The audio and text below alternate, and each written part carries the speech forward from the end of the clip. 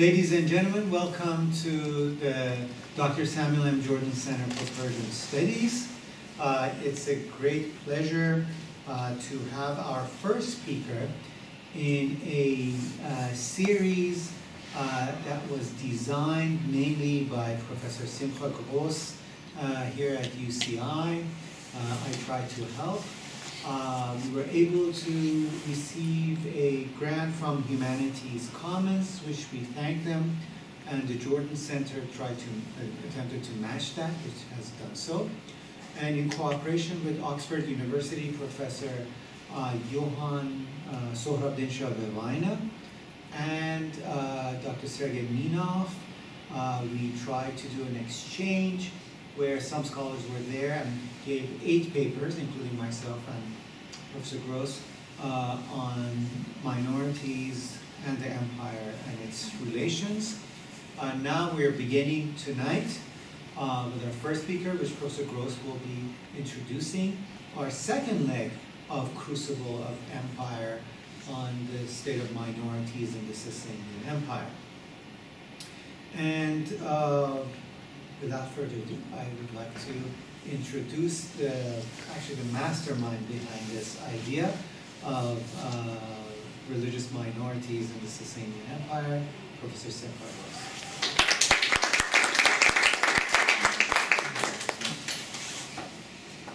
I'll be very brief. Uh, we're very pleased to have with us uh, Professor Scott McDonough, who is an associate professor uh, at, uh, of history at William Paterson University in New Jersey.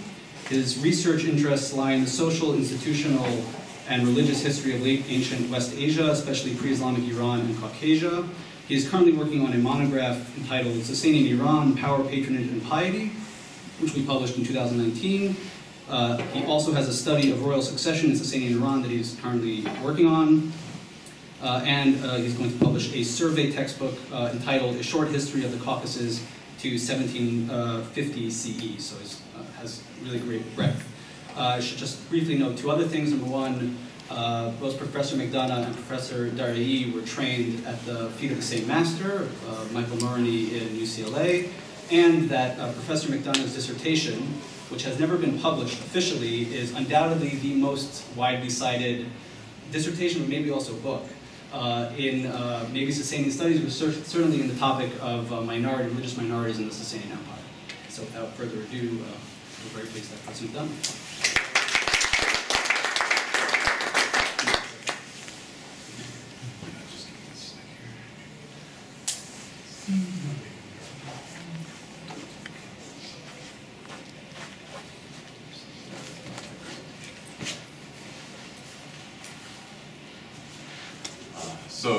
thank you for that kind introduction. Uh, thanks to uh, Touraj and Simcha uh, and to the Jordan Center for having me out uh, this evening. Um, I'm, uh, as the, uh, the, title here says, I'm going to be talking specifically about the role of Christians in the royal courts of Sasanian kings. I'll start with a quote from uh, Pseudo-Sebeos, the Armenian historian, uh, when he, the general Smbat Bagratuni, had approached within a day's journey of the royal court, the king ordered all the nobles in his army to go out to meet him. He commanded the auxiliaries to meet him with a fine horse from the royal stable with uh, royal equipage. Uh, so he proceeded with great splendor and glory and presented himself to the king. On seeing him, uh, he welcomed him with joy and stretched out his hand to him uh, he kissed his hand and fell on his face. Then the king said to him, You have done your duty loyally, and we are especially grateful to you. From now on, trouble no more to wage war, but stay here, close by. Take, eat, and drink, and devote yourself to our happiness. He was the third noble in the palace of the king Khosrow, and uh, after remaining there a short time, he died in the 28th year of his reign. They brought his dead body to the land of Armenia to his ancestral, ancestral sepulchre, and placed it in a tomb, and I'll leave it there. Um, Bagratuni's career uh, is entirely consistent with a number of late Sasanian aristocratic generals, uh, like Bahram Chubin or uh, Shahrbaraz, uh, albeit without their rather spectacular triumphs and failures. Um, his kind of uh, uh, list of offices held during his life, he served as a Marzban, uh, a border lord. Uh, he was appointed to the title, uh, which in Armenian is rendered as the warrior of the lords. Um, he was given uh, the kind of honorific, uh, the joy of Khusro, uh, and given a number of, of privileges, including being recognized as the third noble in the king's palace. Uh, notably, uh, along with his advancement through these offices, his son, uh, Varaztirots, uh, was raised uh, by Khusro at court, uh, appointed as a cupbearer, uh, eventually given the title Eternal Khusro um, to honor his father. Now, this is an interesting thing. It's one of the relatively few examples we have of a sort of the promotion of a general, uh, the rise of a general in Sasanian Iran kind of laid out in some detail. But what's remarkable about Smbat, in a way, is that uh, not only is he an Armenian, but he's also a Christian. Uh, a Christian who, at least according to an Armenian source, which we can believe or not believe, uh, was third ranked in the palace of the king. Um, in fact, Khusro II has a lot of Christians at his court. Uh, his queen of queens, uh, his chief queen Shirin, uh, his chief royal physician Gabriel of Sinjar, the head of the Church of the East, Sabrisho, is a frequent resident at the court of the king, uh, Smbat Bagratuni and his son, uh, and his finance minister Yazdin, as well as a number of other Christian hangers-on like the court astrologer Mar Abba, uh, various financial officials and other physicians that supported the king, uh, are all Christians under Khusro II. So how exactly did Christians come to play such prominent roles in the courts of the later Sasanian kings? Uh, how did Christians interact with the king at court and to what end? Uh, and how did politically powerful Christians challenge or complement the traditional elites of Sasanian Iranshar? So uh, for this presentation, I'm going to, uh, since I'm first in line among all these presentations, I'm going to take advantage of that to give a little bit of background about Christians in the Sasanian Empire. Uh, and then move to talking about my notions of uh, what types of Christians there are in uh, the, the court of the Sasanian kings. Um, now, there are a lot of stories about how Christianity comes to uh, Iran. Certainly there are stories of the apostles uh, bringing Christianity to Iran. Uh, we know uh, that, at least in the Roman Empire, that uh, early missionaries, Christian missionaries, uh, attempted to proselytize in synagogues, and certainly uh, there are Jewish communities uh, within uh, the lands that become the Sasanian uh, Empire. we know of the existence of a number of kind of Jewish, Christian, pagan, for lack of a better word, Gnostic groups resident in Babylonia, like the Elkesaites, the Marcionites, and other groups here. Uh, and then there are a number of other stories about Christianity coming from the city of Edessa uh, in a sort of Syriac-speaking form. Uh, Greek-style Christianity coming to uh, the Sasanian world through various deportations of Christians, uh, particularly to Khuzestan. Um, and certainly uh, there are a number of stories associated with the 4th and 5th century uh, about various martyr stories associated with Christians uh, in the Iranian world, whether uh, in Mesopotamia, Babylonia, or, or Armenia. What I would draw from these stories not, is not necessarily that the, each of these stories is true, uh, or that each of these stories about the coming of Christianity, uh, you know, is uh, one is better than any other. Uh, what I think we should draw is that Christianity in the Iranian world was very diverse. Uh, that there are probably a number of ways of proselytizing uh, by Christians uh, in the Iranian world. Uh, that there were probably a number of regional centers that had their own distinct forms of Christianity. Uh, there were certainly Christian communities built around sort of ethnic and linguistic communities within the Sasanian world, whether Aramaic, Syriac speaking, Greek, Armenian, Persian. Um, And also, there were distinct Christianities built around sort of an urban model of Christianity and a sort of rural or aristocratic model of Christianity, which I'll get into more later on. Then, laid on top of all this, of course, is the, the standard tendency of Christian groups to split into ever more uh, fiddly sects uh, having to do with uh, issues of the nature of Christ and things like that. Uh, Chalcedonianism, the Church of the East, sometimes called the Nestorian Church, uh, Miaphysite Christianity here. Now, we see evidence of this in a number of things. Uh, the Synodicon Orientale, which is an account of the synods of the Church of the East, uh, lists more than, pardon me, uh, five separate bishops of the city of Beth Lapat, uh, uh, uh, all coming to the same council, each claiming to be the one true bishop of the city.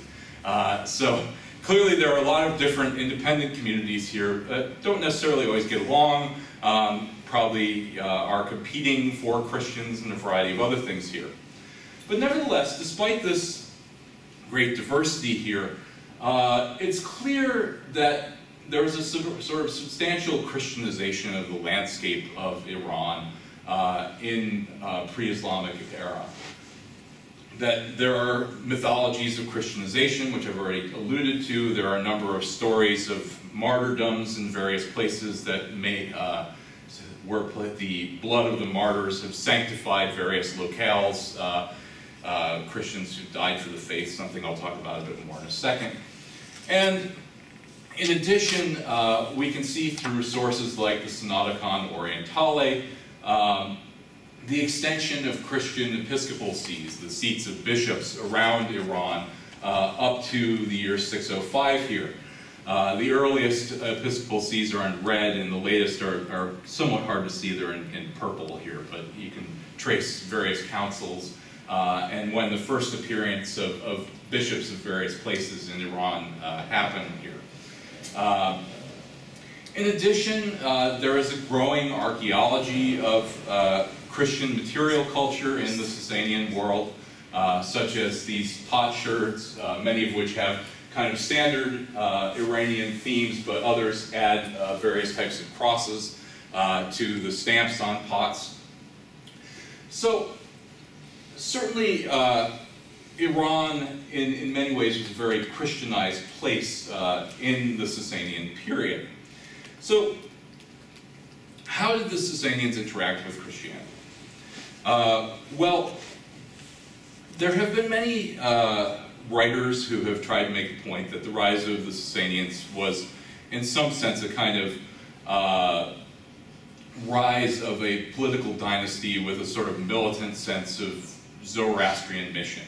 Uh, to spread fire altars and build various shrines to Ahura Mazda and the various Zoroastrian divinities. Uh, certainly Ardashir uh, puts on his coins a fire altar uh, on the reverse of his coins here, and the kings make a number of rather explicit claims of uh, Mazda worshipping piety here. Uh, their official title calling themselves the sort of Mazda worshipping lord, uh, king of kings of Iran, whose origin is from the gods. Um, and in fact, the Sasanian family is said in various sources to have originated as sort of the temple guardians of the temple of Anahita at Istakhr. Uh, so there's many reasons, there are many reasons to believe uh, that the early Sasanian kings wanted to promulgate a view of themselves as being especially pious and zealous in the spread of uh, Zoroastrianism or Magianism However, there are a number of other sort of countervailing arguments to that. And, and I would argue that despite this very kind of public profession of Mazda worship here, uh, that in practice the Sasanians were less concerned with actual uh, attempts to sort of spread Zoroastrianism than we might expect. Uh, this is despite the fact that we have, as one of our early Sasanian inscriptions, the inscription of the priest Kirdir, uh, who says uh, that due to his actions, Jews, Buddhists, Hindus, Nazarenes, Christians, Baptists, and Manichaeans were smashed in the empire, their idols destroyed, and the habitations of the gods annihilated and turned into abodes and seats of gods. there are certainly reasons to think that there would be tensions between Zoroastrians, Magians, and Christians. Um, certainly many Christian practices were offensive to Zoroastrian sensibilities. Uh, Zoroastrian ideas about purity and pollution, uh, particularly the burial of the dead or baptism, uh, were things that polluted, respectively, the soil and uh, the, the, water. Uh, Christian practices of celibacy and asceticism seem to be kind of overt denials of the goodness of creation, something that was uh, alarming to Zoroastrians in many ways. The fact that Christians frequently uh, and very openly called all other gods false gods, demons, uh, and in fact, there are stories of Christians kind of smashing up altars and things like that and their zeal for their own religion. And, and also the fact that, that Christians uh, were not content to just be Christian and leave other people alone. They wanted, uh, they had this universal mission of conversion of everyone to their faith. Uh, add to that another wrinkle uh, in uh, the very aggressive uh, missionizing of Man Mani and his followers, uh, who, while not themselves Christians, certainly incorporated a number of Christian ideas into their sort of syncretistic uh, faith. Um, but one of the biggest problems was the fact that the nearby empire, the mortal enemy of the Sasanians, Imperial Rome, after Constantine, was substantially Christianized. And you can see on this coin of Theodosius II, uh, a sort of uh, victory carrying the cross on the reverse of the coin here. Um, at least in theory, this didn't do Christians any favors in Sasanian Iran. So the conventional narrative has been that, uh, particularly under Shapur II, that there was a massive persecution of Christians, starting off with the bishop of uh, the city of Seleucia Ctesiphon, uh, which ultimately re resulted in enough Christians dying uh, that 50 years later, a Roman bishop uh, removed 100,000 relics from the lands of Iran, uh, that is the bones of saints, uh, to be taken back to his uh, home city, which he subsequently renamed Martyropolis, the city of the martyrs. I think, though, that this is somewhat overstated. Uh, that a, a, central part of Christian narratives has always been persecution that persecution builds the faith, that the, the blood of the martyrs is the root of the church. Um, what seems to be more the case is that in general people were pretty, uh, at least the Sasanian kings were largely indifferent to Christians. Um, there may have been instances of local persecution or general persecution, but in, in general, uh, I tend to think that persecution is overstated. Particularly because with the growing numbers of Christians in the Sasanian Empire, uh, Christians formed a pretty substantial part of the population of the empire that actually paid taxes. um, so they paid taxes, but on the other hand, the aristocracy, the Iranian aristocracy, uh, at least the upper aristocracy, did not pay taxes. Uh, and to add to that, um, you know, particularly in the late 4th century, uh, the aristocracy was known for killing kings in various ways, including quite memorably dropping a tent on one of them uh, to, uh, to kill him. Uh, now, by the 5th century, uh, tensions with the Roman Empire had largely sort of settled down, uh, which seems to, these three things, the sort of growing Christian population, tensions with aristocracy, uh, a sense of kind of detente with the Roman Empire, seems to have motivated Yazdegerd the uh, to, in some sense, officially recognize the Christian church in his domain. Uh, this was accomplished at a church synod, uh, which uh, is described in the, the Christian records of this, uh, that the king actually called the synod, invited bishops to gather at one of the royal capitals, Ctesiphon, uh, and meet to settle various disputes in the church. Uh, he also put at his uh, at the disposal of the bishops who came to attend the, the council uh, the sort of royal postal system and things so they could get to the capital. Now, subsequently, and I'm not sure where that slide's showing, so I'm going to skip that. Um, subsequently, uh, we have a lot of evidence that this act of officially recognizing the church was, was well received, particularly by the elites of the church, the bishops. Uh, that the Church of the East and its bishops gained sort of official recognition and support from various Sasanian kings, uh, and in turn the Christians sought to accommodate the interests of their kings. Uh, Christian leaders, particularly bishops, often came to view the King of Kings as a sort of patron and, in some sense, a protector of Christians, uh, and in the long term as a possible convert in the future to uh, Christianity here. Uh, at the same time, Christian writings tend, after this event, to portray the kind of traditional priests and aristocrats as largely hostile to Christianity. That the king is their defender and the aristocrats are out to get them. Um, but what we see from this point on is that in general, Christians are quite loyal to the Sasanian state and particularly to the Sasanian dynasty. Uh, we see all sorts of very fulsome praise of the Sasanian kings in the Synodicon. Uh, we all ask unanimously for our merciful God that he adds days and days to the victorious and illustrious king, uh, Yazdegerd, King of Kings. Uh, they call uh, Khusro II, uh, let's see if I have it here, the, uh, is it in this passage?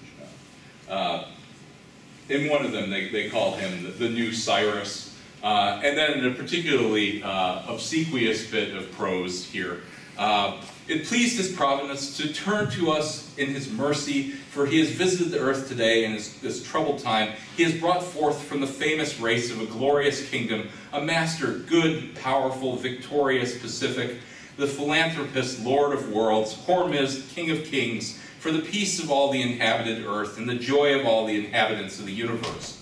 By the hands of this prince and by his powerful, good, and wise commandments, he has made the immeasurable riches of mercy, his mercy appear. Indeed, our Lord, the good, victorious King of kings, in the liberal spirit, imbued with the love of God and the love of men, rich in admirable wisdom, well, you point. Uh, this goes on and on and on.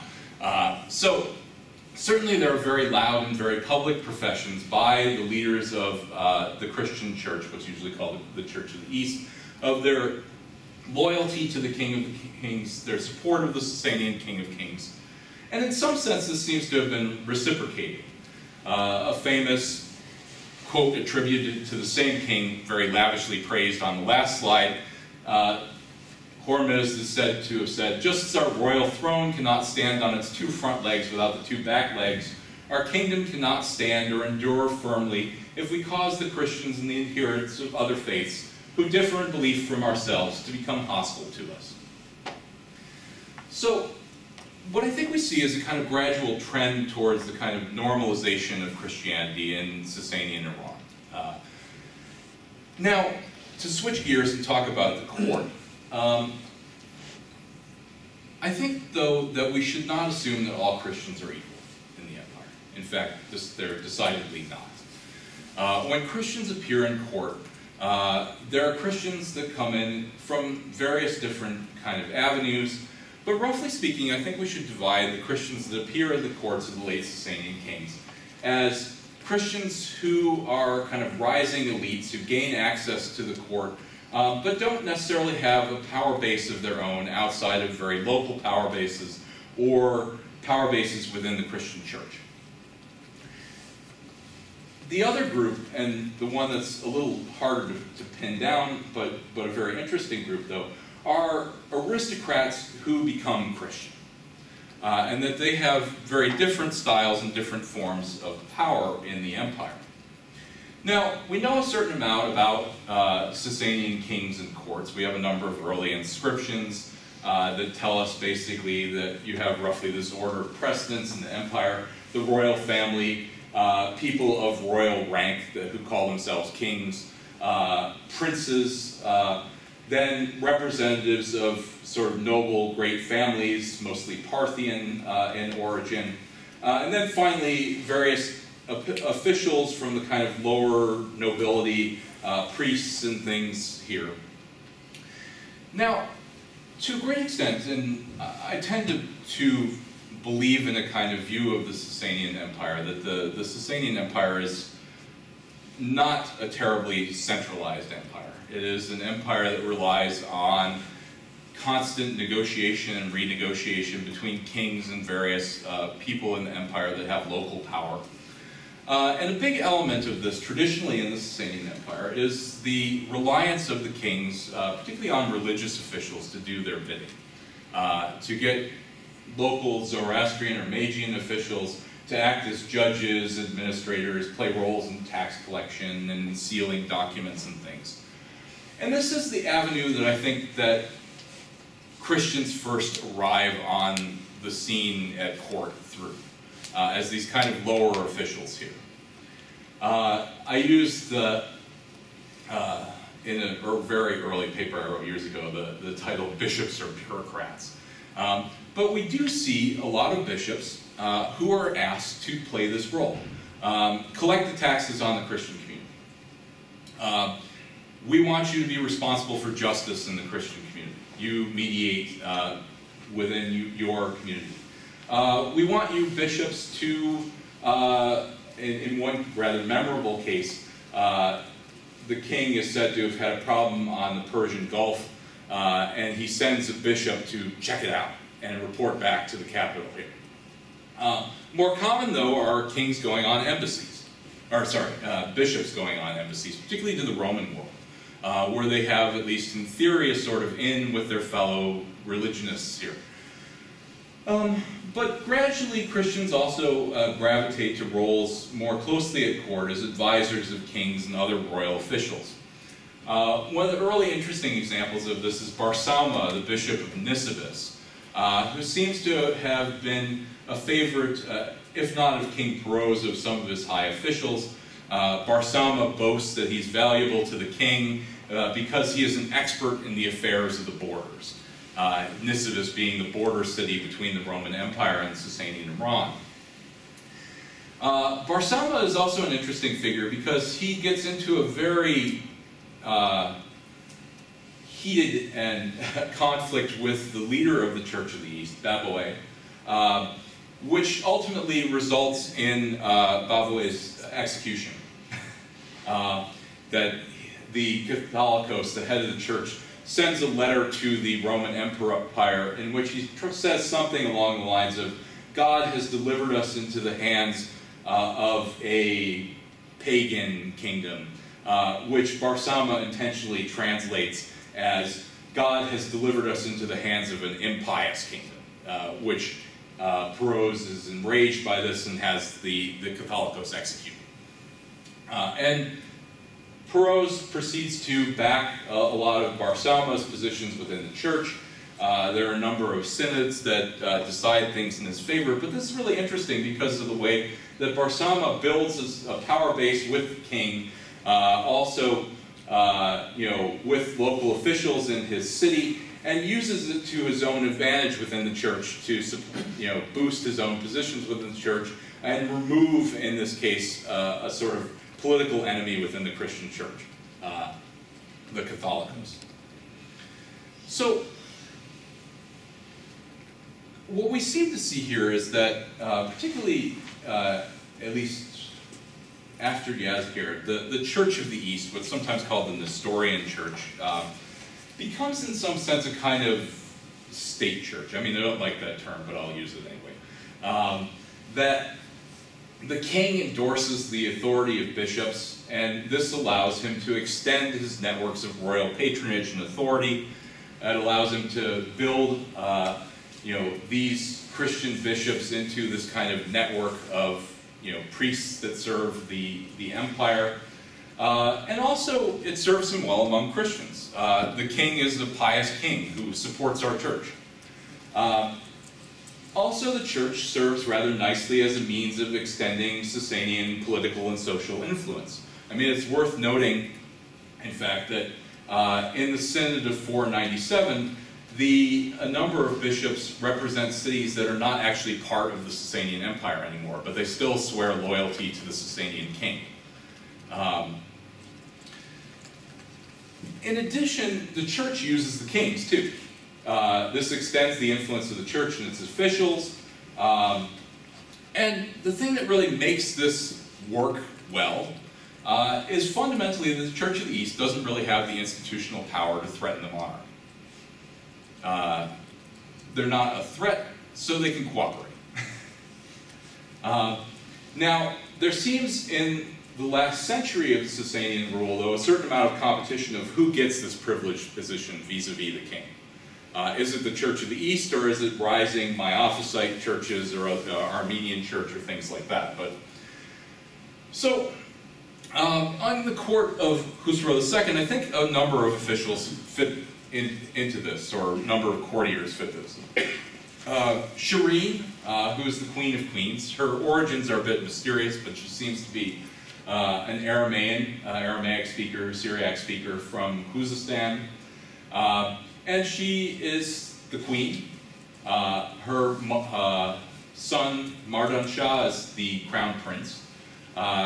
And she has an enormous amount of influence over the king in a variety of things, mostly shown through our sources in defense of the church, or at least the defense of her version of Christianity that she supports.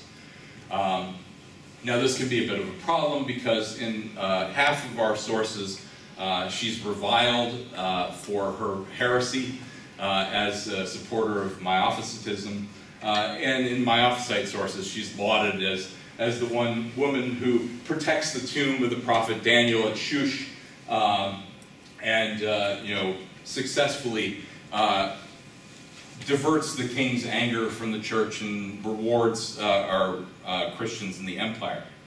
She also cooperates with the chief physician, uh, Gabriel of Sinjar, uh, who's unfortunately our, our, best sources on him are all very negative about him.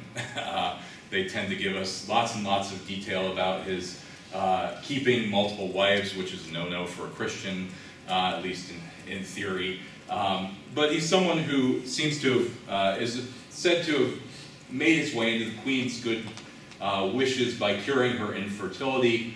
Um, he's excommunicated from the Church of the East and then proceeds to uh, turn himself into uh, a major player in disputes between uh, different Christian factions here. Now, um, the final kind of Aramaean who's rising up in the church uh, that I'll talk about very briefly uh, is the Catholicos Sabrisho uh, who is a nobody, at least at first. He's described as being a son of a shepherd.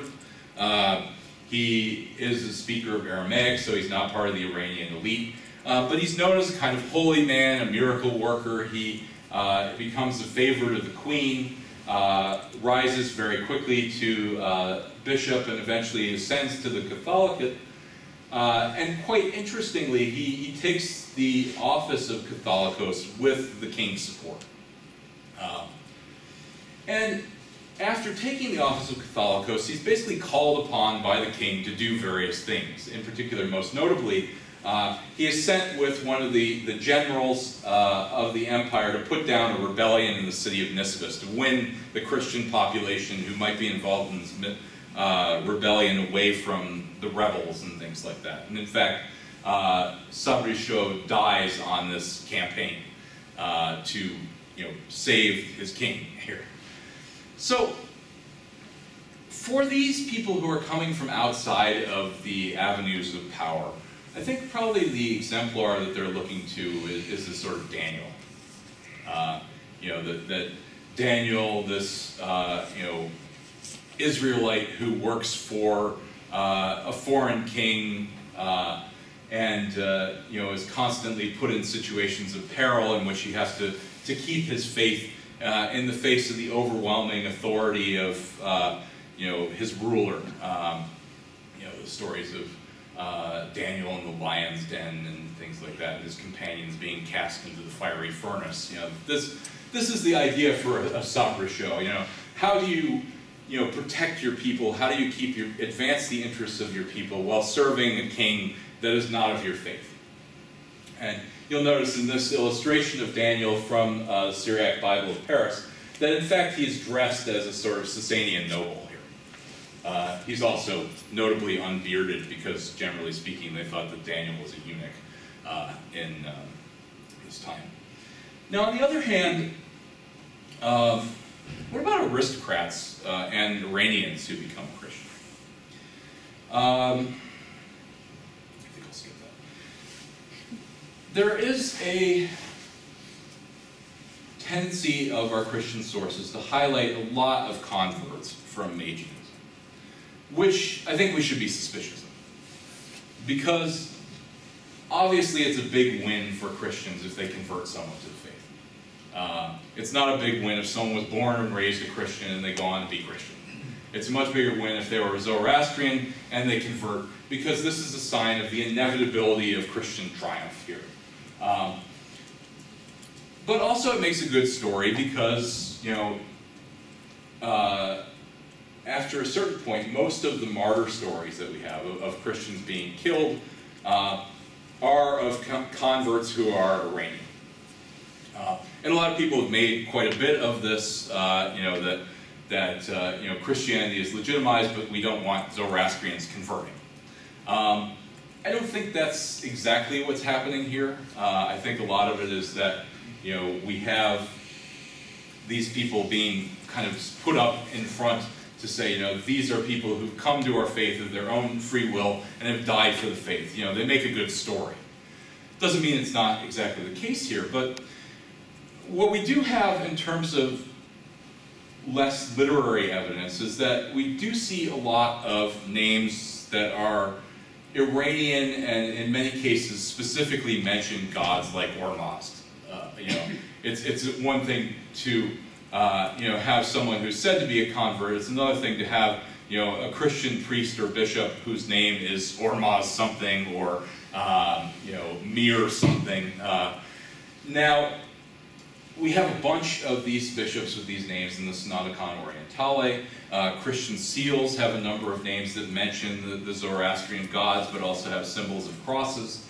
Um, we have to be real careful here because obviously some of these names, uh, you know, names that mention the Yazata could just be, uh, you know, referring to the Christian god, but in, you know, in Persian. But, um, but I think that probably a lot of these converts, if they are converts, are coming from a sort of lesser nobility. They're Iranian, maybe they're raised as, as Magians, but they're not really important people.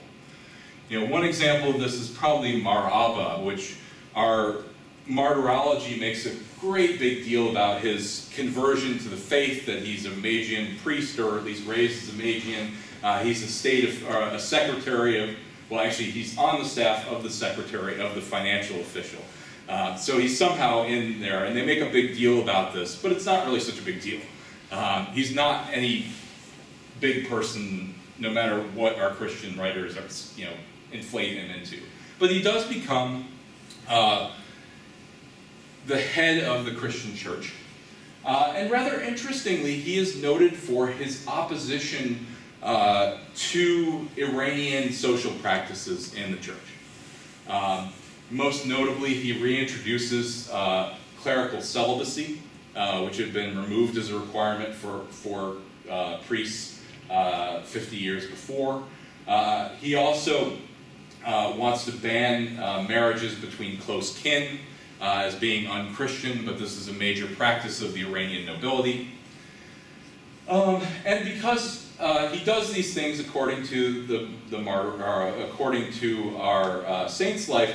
He's sent off for seven years to Azerbaijan in exile um, due to the king's hostility and the hostility of the priests. He's eventually recalled when the king needs him again, uh, uh, like uh, Sabrisho, to put down a rebellion or help put down a rebellion. is the story that we have here. So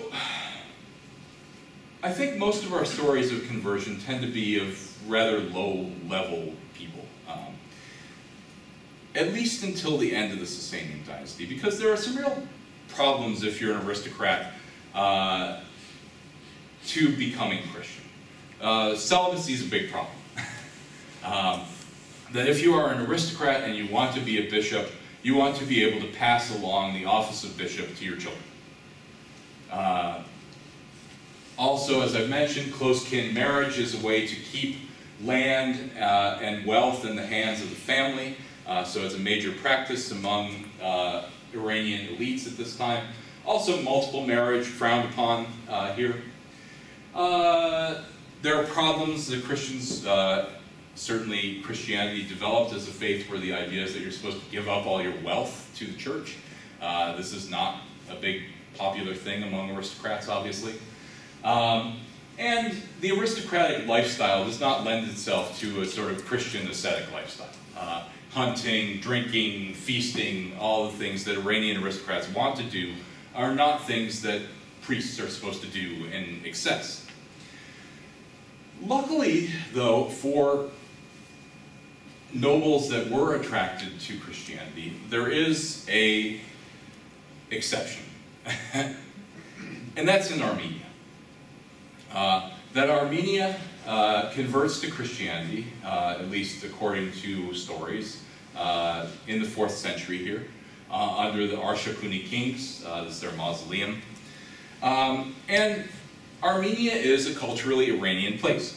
That the great families of Armenia are essentially related to the Parthian family, great families of Iran. They have various privileges within the Sasanian world of, you know, being presented and placed in, in the Sasanian court. Uh, and when they convert, at least the elites of Armenia convert, uh, and at least by the 5th century, you know, many Armenian and other Caucasian nobles are notionally Christian at least. Um, they convert, but they don't stop being nobles. um, now, certainly we have stories of this being a problem. Uh, the uh, famed uh, Battle of, uh, uh, in which the uh, Armenian nobility, Christian Armenian nobility, is supposedly decimated by the Sasanians uh, for their Christianity here. But again, I think we have to be real careful that these are sources that are written by Christians after the fact to valorize, you know, people who might not have had this notion of themselves first and foremost as Christians. Um, but certainly Armenia is a place that converts to Christianity, but Armenian Christianity is very distinctive. Um, that before Christianity comes along, temples and lands belong to aristocratic families, uh, just as they do in Iran. Um, now, the most powerful of these pagan priestly families are wiped out. Their lands are confiscated, uh, and actually, they're distributed to the families of the first bishops, uh, who basically take over this. Lesser priestly families seem basically to have just made the switch from, you know, we worship the gods to we worship God. And they just keep doing what they're doing, but in a sort of Christian guise. But what we see here is a very close association of nobles hold offices uh, in the church. Uh, and once the Arshakuni royal dynasty dies out, basically the great noble families of Armenia come to control the most powerful seats of bishops in the Armenian church. That in uh, documents of various councils of the Armenian church, a bishop is not a bishop of a place in many cases, he is a bishop of a family. The bishop of the Mamikoni. Uh, so this gives a nice and ready-made model of how to do Christianity for aristocrats. That the aristocrats control the religious institutions. Uh, they control the land that belongs to the church in their, their territories. They control charitable institutions. Uh, they hold ecclesiastical, offices as a sort of hereditary thing within the family. Uh, and Christianity serves these families to valorize various aristocratic virtues.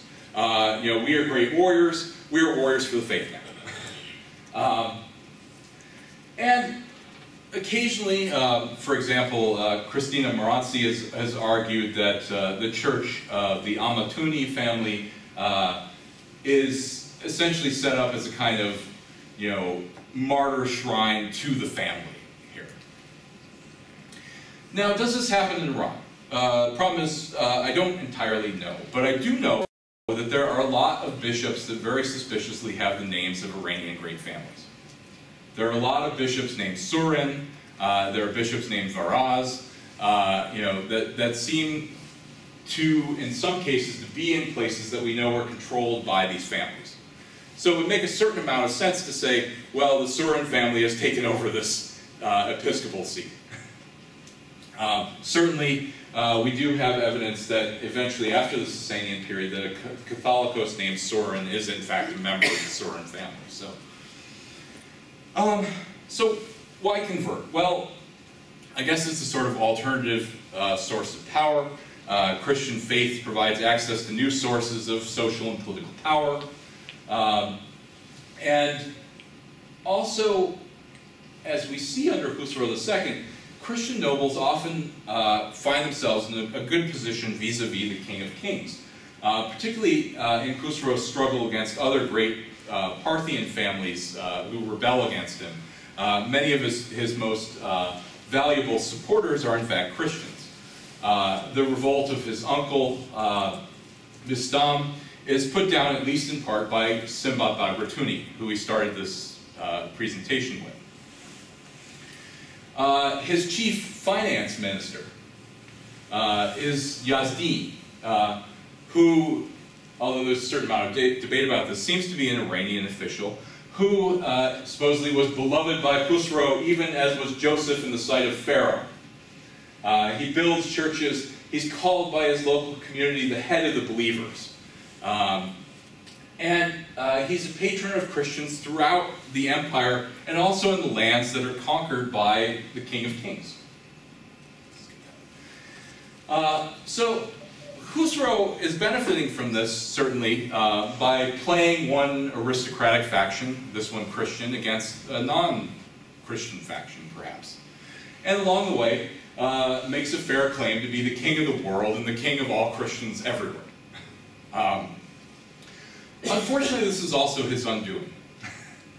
that by normalizing Christians and uh, having Christians in the elite, uh, I think one of the critical issues here is that Christians who enter, who are themselves aristocrats, never stop thinking themselves as aristocrats. They're aristocrats first.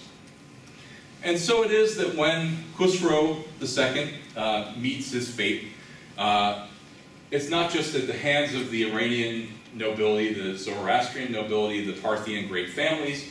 Uh, there, side by side with them, are Christian aristocrats as well.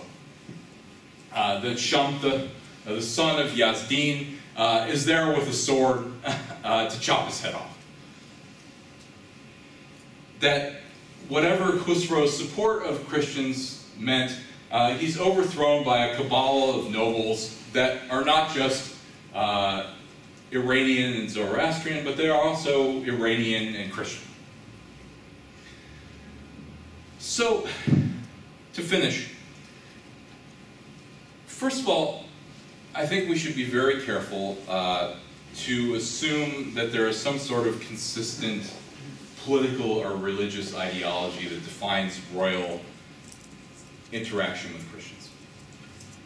It's mutual exploitation, it's patronage, um, but there's no policy here. For non-noble Christians, royal tolerance meant you serve the king.